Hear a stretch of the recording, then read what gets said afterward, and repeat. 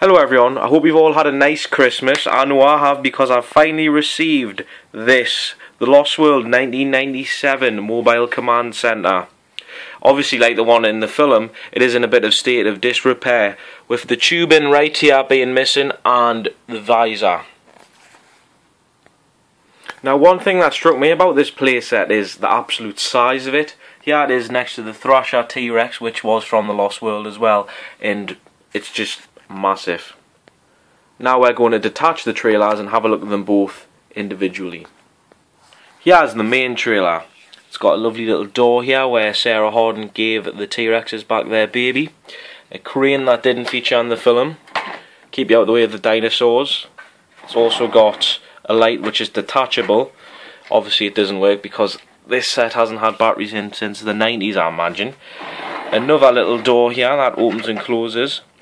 It's nice. Just get your figures in. And this lifts up and down. Obviously the visor would go here. I believe it's an orange visor which needs replacing. Let's have a little look on the inside if there's anything. There's not much. That's one thing that surprises me about this piece is it hasn't got much detail inside.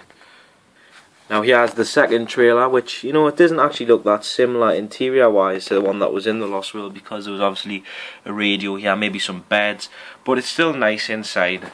The only criticism I can have of it is it's just a bit plain, that's all.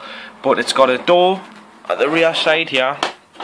This opens, closes, obviously, and has a couple of stand legs there. And if we look at the rear side here, some nice detail there as well. Nice colouring. And all I can do now is say thank you for watching the video and I hope I've provided a good review for this piece because I've never seen one on YouTube for it. But one last thing is if anyone could provide any information on how to have this part restored and the tubing I would be very grateful. Thank you